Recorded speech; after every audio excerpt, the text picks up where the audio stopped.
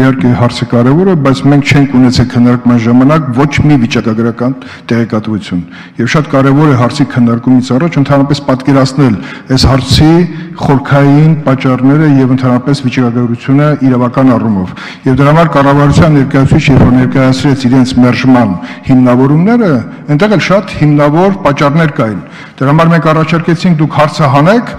նորից մտնենք, որտեղ դա իրոք մեկ ամսվա խնդիր չի նախ պետք է հասկանանք ինչ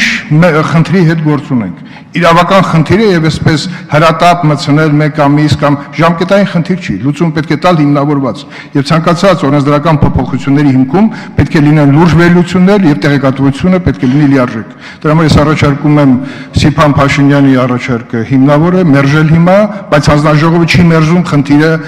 ընդհանրապես խնդիրը բաց է եւ եթե մենք կարողանանք ճիշտ վերլուծության հիմքում նորից անդրադառնանք այս խնդրին եւ հիմնավոր առաջարկ ներկայացնենք, բնականաբար հանձնաժողովը հակված չի մերժել այս հարցը։